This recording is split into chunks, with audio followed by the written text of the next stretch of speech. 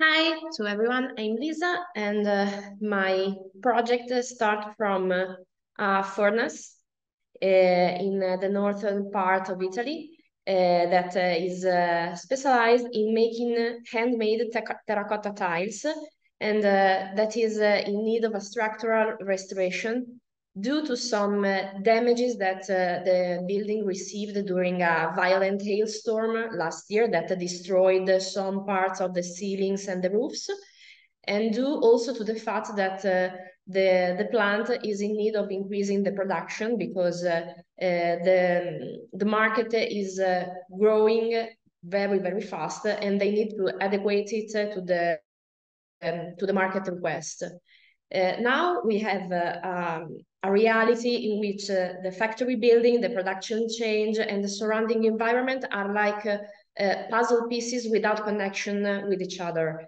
So my first challenge was to imagine a way to integrate them in a unique system uh, to reconnect it with nature that is really, really present in uh, in this uh, in this Italian area because uh, we are surrounded by a, a landscape that is really, really present. It's a strong presence on the on the countryside.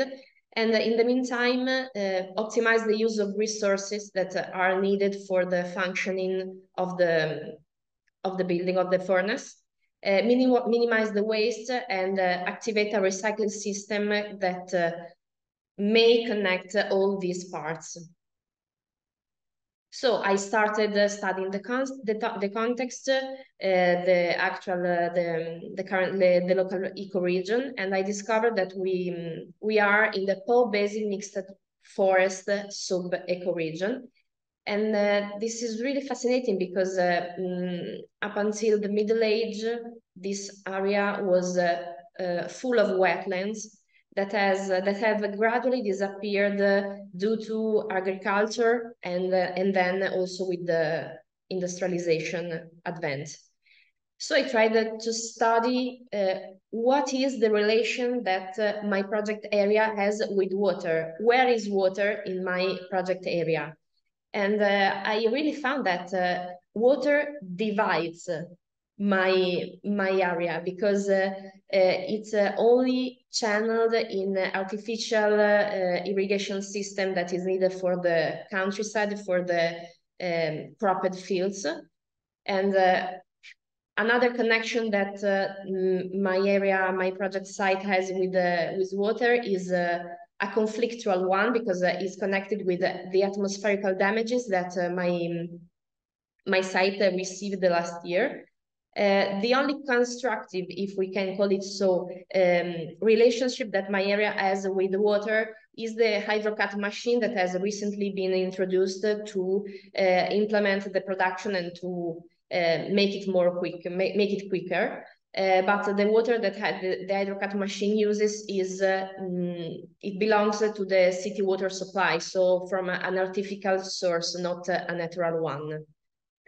So I proceeded with the discovery phase um, and uh, in finding natural models that uh, could help me with the water management, with the management uh, of uh, the pollution that uh, uh, the water of um, irrigation channel have because of the nitrification project process of fertilizers and uh, the consequent reconnection on or creation of a connected system of all the aspects involved in my in my site.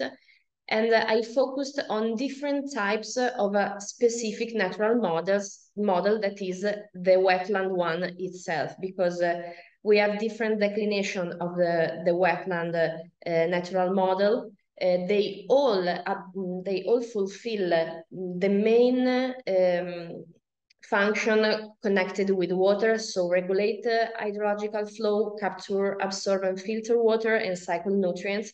But you know, um, each of them has a specific approach to each of these uh, function, and uh, one or another are most interesting for one type of uh, function than another. Uh, so I took uh, all this type of uh, function, all these function, I put them on my on my constructions, on my project site. Uh, I brainstorm the function and find and found an action that uh, a specific part of my site could fulfill, could achieve. Uh, without uh, really considering for now which natural model could be applied in each of them. So I discovered that uh, uh I have um, a collapsed area uh, at the beginning of my site that is due to the, um, the um, the excessive uh, paving uh, during the years. Uh, I have irrigation channels that move beside my my my my site. Uh, I also have a stocking paved, paved area that is really chaotic by now because uh, all of the stuff that is pro produced is put in this uh, external area. Um, as I told before, um, I have this situation with the skylights that are damaged by the hailstorm and um, rainwater damages uh, the, the roof because of it. And uh, I also have another collection tank that uh, is now used only uh, for collecting the water from the hydrocut machine, but uh, no one recycled it. It is only needed to capture it. So I tried to put the function, the verbs, and connect only the function that this part of my puzzle may fulfill and may achieve. And I brainstormed how they may achieve this type of function with um, taking care of uh, each specific peculiarity of, is, obvious each piece of my of my project. Uh, so I move, moved along and I I had my first uh, important feedback loop on my on my challenge statement because I focused only on water.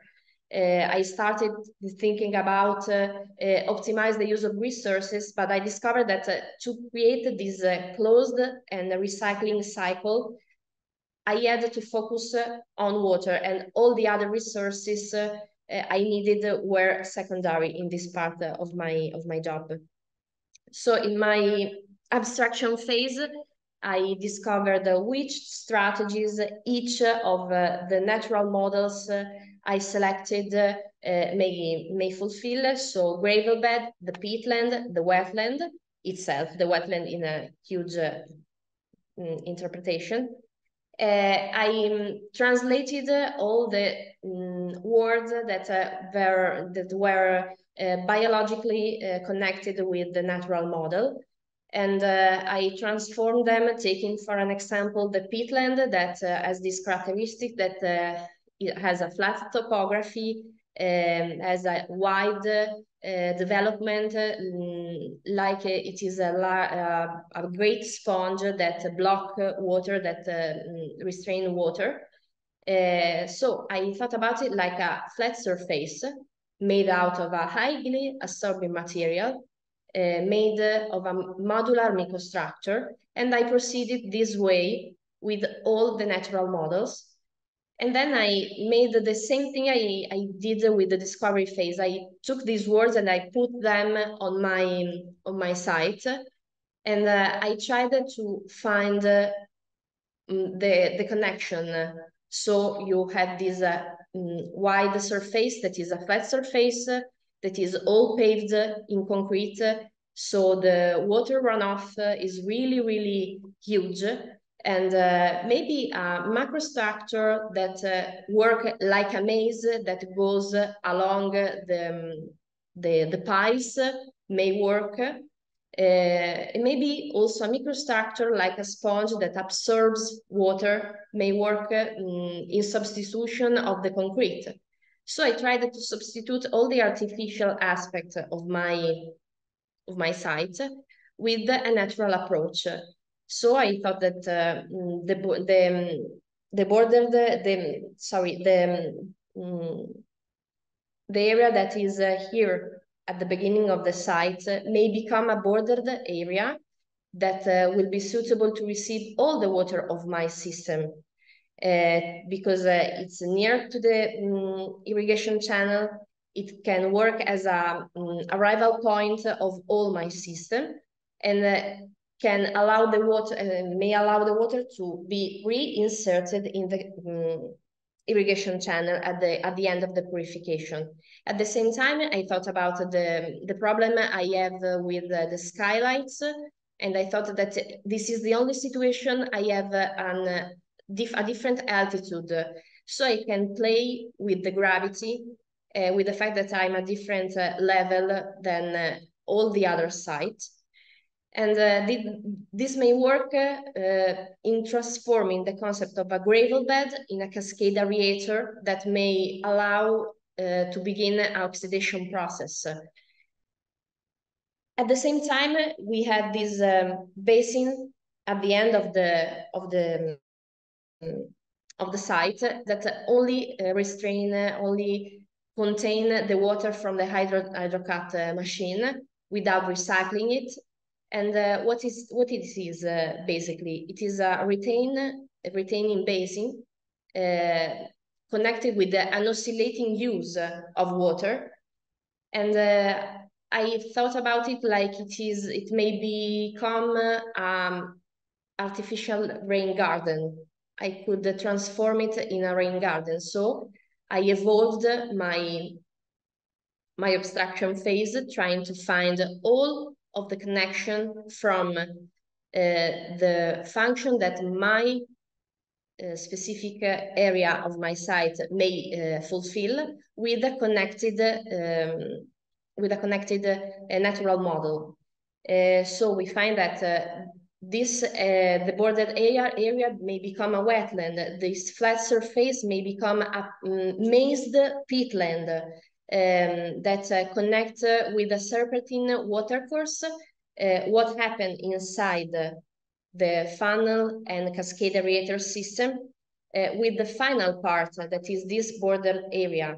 And uh, the final part in, uh, instead of the my construction site may become a secondary tidal rain garden. I called it tidal because it's strictly connected with a tidal um, approach um, both from the channel, irrigation channel, uh, both from um, and also from the um, use of a hydrojet uh, machine that is not continuous. It's a, it's a spot use. It's an oscillating use of this machine.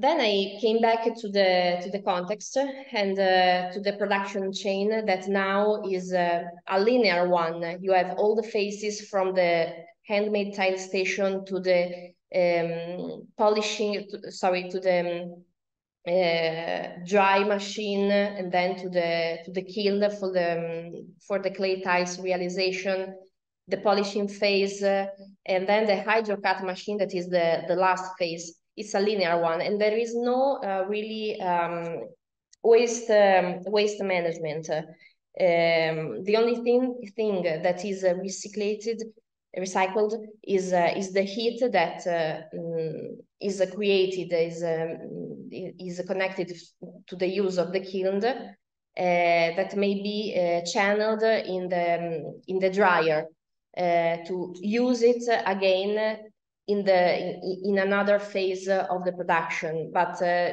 really any almost uh, uh, nothing is recycled now in this phase. So you see how my project area may become and I will zoom it. So we have the wetland that uh, is where we have uh, the paved area that collapsed one year ago. Now here we have uh, this serpentine that goes by the stocking paved area, allowing both to uh, regulate the hydrological flow of uh, water that belongs uh, to the to the building, both to give some sort of an a new order to this stocking area because uh, we have to use it as a stocking area. We cannot uh, avoid to use it in uh, its uh, peculiar function, but we can integrate it with a natural aspect. So we, we slow down the uh, water flow with this serpentine system.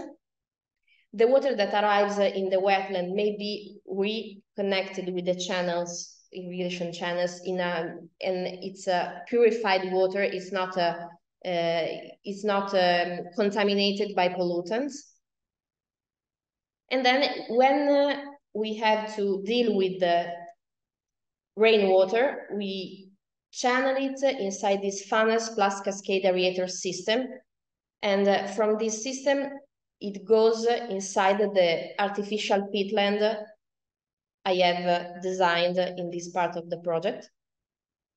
And uh, at the same time, when we use a hydrocut, hydrocut machine that is here, all the water that is used may be channeled into this uh, tidal rain garden that receives the water and clean it from all the dust and clay powders uh, um, that belong to the to the hydrocut uh, elaboration. So to better explain what is and which is the real potential of this project, I made these schemes that identify the different water cycles because uh, we are dealing with a living system um, and we cannot abandon it without water in some part of the years connected to a dry dry periods, uh, uh, summer, uh, instead of uh, uh, really heavy rain periods like winter or, or autumn. So we have two different approaches. One that uh, is uh, related to dry periods of the year when rainfalls is, uh, there is a scarcity of rainfalls. We can take water from the um, irrigation channels and channel it inside the peatland, clean the irrigation channel water and uh, remit it uh, in the channel, uh, in the in the irrigation channel system, or use it to um, inside the, the hydrocut machine process and then reintroduce it in the secondary uh, wetland to clean it further and uh, introduce it again in the irrigation system. Instead of this, uh, of this approach, there is the approach we will have uh, during the rainy season, we will collect the, the rainy water from the from the roof from the from the funnel system we will uh, mm, integrate it in the hydrocut machine once the water is cleaned from pollutants and then the water will be reintegrated inside the channel system or instead of it if we don't need the water for the for the hydrocut machine, we can simply clean it with the peatland, with the serpentine peatland and the, the wetland, and reintroduce it in the irrigation channels. There are also two collateral process uh, processes I discovered uh, during my evaluation phase uh, that are strictly connected with um, what can we do with water also that using it to clean itself uh, or use it in the uh, in the hydrocut machine. We can use it uh, to cultivate a land that we had here um, we can use it to create uh, a virtuous uh, um, approach of the people that uh, live and work here because uh, you know a um, lot of the people that work here are Indian and African people uh, from the lower um, from the lower society levels. They don't really have an identity inside our society by now. They are really exploited uh, the most of the time. They don't really have an identity in the place they are in because uh, this is not their home. And um, they they live uh, mostly in uh, popular houses in uh, in, in, ghettos or in clusters. for this reason, um, this uh, project may also have a collateral, um, collateral ethical social effect with the, the people that work and live in uh, in this uh, in this factory, and this is it. Well done. Wow. Incredible, incredible work. Phenomenal. I mean, there is so much here in your project.